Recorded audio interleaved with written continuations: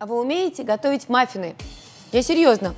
Но если умеете, я просто сейчас расскажу о таком новом рецепте с тыквой. Да, да, маффины с тыквой.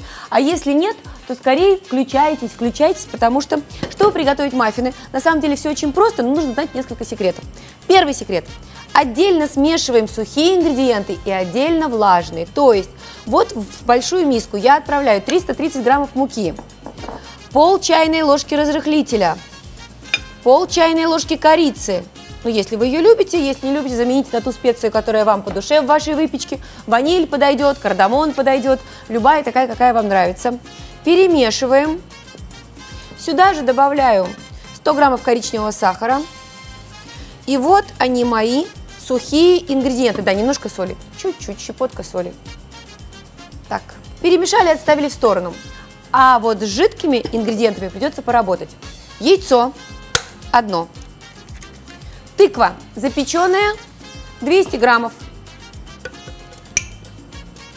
Добавляю сюда столовую ложку растительного масла без яркого запаха и вкуса, 50 миллилитров молока и начинаю все взбивать. Осталось добавить сюда сметану.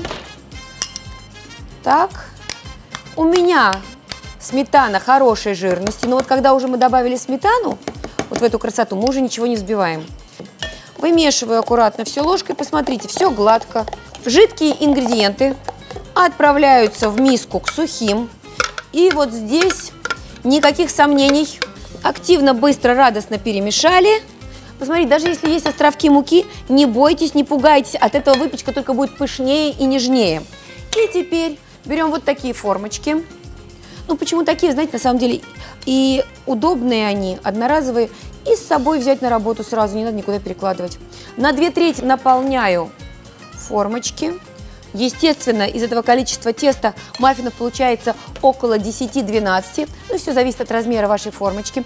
Духовку разогреваю до 200 градусов. Это важно, чтобы здесь было жарко. И еще важно, чтобы ваша духовка хорошо пекла.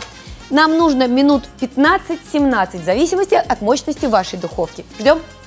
Через 15 минут из духовки просто вылетают с радостными криками «Ура!» Чудесные маффины.